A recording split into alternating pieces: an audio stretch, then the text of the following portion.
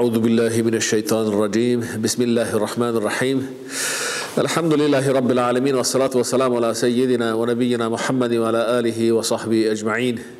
رب اشرح لي صدري ويسر لي أمري واحلل عقدة من لساني يفقهوا قولي. رب زدنا علما وفهما ونافعا وألحقني بالصالحين. أما بعد Dragi poštovani braći, assalamu alaikum wa rahmatullahi ta'ala. Nakon zahvalne stvoritelju Allahu subhanahu wa ta'ala na svim blagodatima sa kojima nas je počastio i nakon salavata na Rasulullaha Muhammad alaihi salatu wasalam na njegovu časnu porodicu, vrla i česta ashabe i sve iskrene sedmenike njegovog suneta. U salahu Đeršanu pomoć voli blagoslov. U današnjem obraćanju ćemo vidjeti šta to Islam od nas traži e, po pogledu, u pogledu brige o, o jetivima. E, sam poslanik Muhammed a.s. kao što znate je bio jetim. Rodio se, a prije njegovog rođenja je njegov babo preselio na Ahiret. Dakle, rođa, rađa se bez oca, dolazi na ovaj dunjaluk i nema tog glavnog zaštitnika e, svoga baba, svoga roditelja. Majka mu seli sa dunjaluka, odnosno e, umire kada je imao šest godina brigu o njemu preuzima djed, pa nakon dvije godine i djed seli na Hiret, a onda ga Amidža odgaja do punoljestva. Dakle, e, poslanik alaih salatu wasalam je bio jetim.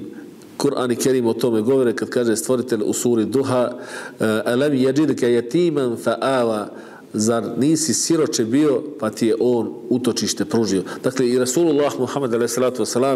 je rastao kao siroče i kasnije svojim e, primjerom, jer je on primjer za sve muslimane u svim poslovima e, laqad kana lakum fi rasulillahi uswatun hasana zaista vi u Allahovom poslaniku imate divan uzor najlepši urnek najviši najlepši primjer kako treba postupati i po pitanju brige o jetimima Rasulullah Muhammed alejhi salatu nam je bio najlepši uzor.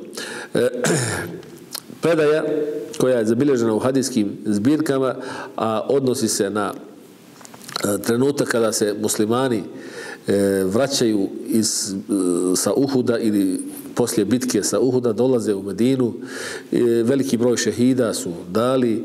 Poslanik Ali Salat je bio ranjen. E, poginuo je Hazreti Hamza, Sejidu Šuheda, dakle, e, predvodnik svih šehida. E, poginuli su mnogi muslimani, ali oni koji su dakle preživjeli, koji su ostali, vraćaju se u Medinu i e, sa, susreću se sa svojim najbližim. Djeca hrle da sretnu svoga baba, žene da sretnu svoje supruge, braća ili sestre da sretnu svoju braću i tako dalje. I jedan dječak prilazi Rasulullahu alaihissalatu wasalam i kaže o Allahu poslanče gdje je moj babo? A njegov babo je pao kao šehid na, na bojnom polju na Uhudu. Rasulullah silazi sa deve i grli mališana kaže tvoj babo je pao kao šehid.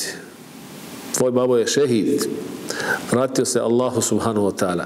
Dječak je briznuo uplač, e, ostao je i bez oca, bez glavnog zaštitnika, na, ostao je, dakle, jetim. A Rasulullah Muhammed a.s. nama ostavljajući u emanet kako da postupamo sa jetima, kaže e, a zar ti ne bi bilo drago da ti ja budem babo, a Aisha tvoja majka.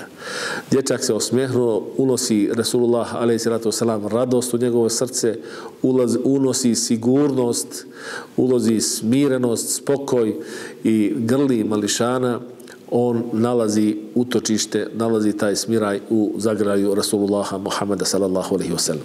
Dakle, to je e, svojim primjerom Rasulullah pokazao kako trebamo postupati prema, prema jetimima. Jetimi su zasigurno veliki emanet od Allaha subhanahu wa ta'ala čitavoj zajednici muslimana.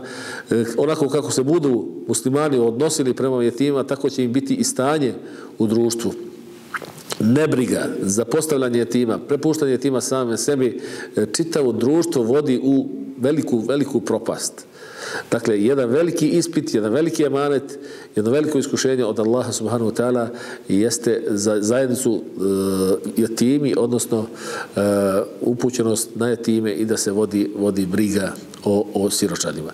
Tako u jednom hadisi šerifu kojeg bilježi imam Mađe u svojoj, svojoj zbirci kaže Rasulullah Muhammad sallallahu alaihi wa sallam e, najbolja kuća među muslimanskim kućama ili od muslimanskih kuća najbolja je ona kuća u kojoj se vodi briga o jetimu, odnosno koja je preuzela emane čuvanja jetima i lijepo se postupa prema jetimu, to je najbolja kuća i e, ona sjaji, sjaji e, za stanovnike nebesa kao što zvijezda sjaje za, za, za stanovnike, stanovnike zemlje. E, to je dakle e, nešto što se može e, na najbolji mogući način steći Allahova džedešanu nagrada, steći, steći bereket od Allaha subhanahu wa ta'ala, steći obskrba rizk kada se pruži utočište, utočište jetivu.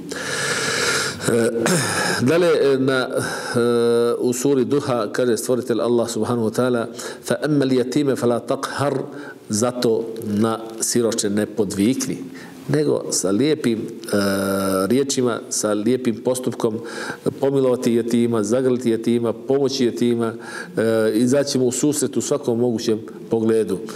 E, wa amma sa'ila fala tanhar wa amma bi ni'mati rabbika fahaddith.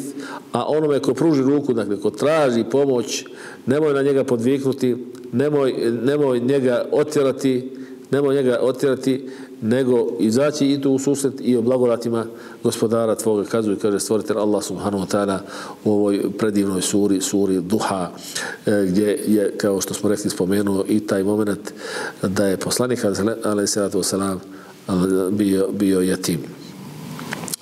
Na kraju jedna velika radost ili veliki muštuluk za sve muslimane e, koji, koji imaju priliku da vode brigu o jetimima jeste hadis Rasulullaha Muhammeda a.s.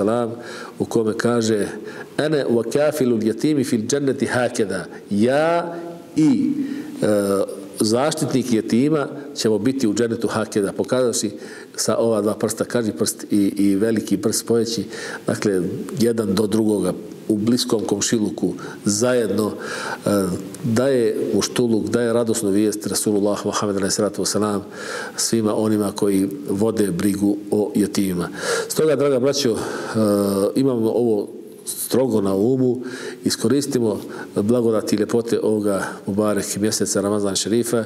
Zagazili smo u drugu trećinu u kojoj je Allah Đelešanuhu oprost od grijeha i na ovaj način težimo njegovom zadovoljstvu sa brigom o jetimima ako nismo u prilici da mi udomimo i pružimo punu zaštu jetimu barem izdvojimo dio svojih sredstava za pomoć jetimima. Ima tu dosta organizacija koje se bave pomoći, pomoći jetimima. Imaju i državne organizacije, ali imaju dakle i ovako e, humanitarne, verske organizacije koje vode brigu o jetimima. Ili privatno pomozimo jetima u, u svojoj mahali u komšiluku, u svome mjestu. E, na bilo koji način unesimo radost u srce jetima. Neka osjeti da ima zaštite, da ima pomoći, da se ima kome obratiti, da nije prepušteno samo sebi i da nije prepušteno šikaniranju, zlostavljanju onih zlobnika. U tom smislu molim Allah subhanahu ta'ala da bude zadovoljno s nama, da nas pomogne na njegovom putu, da bude zadovoljno sa našim e, poslovima, sa našim ibaditima, da ukabuli naše ibadite, naše sadake, naša dobra djela u ovim mubarek djanima. Wa ahiru da'wana in ilhamdulillahi rabbil alamin. Assalamu alaikum wa rahmatullahi ta'ala wa barakatuh.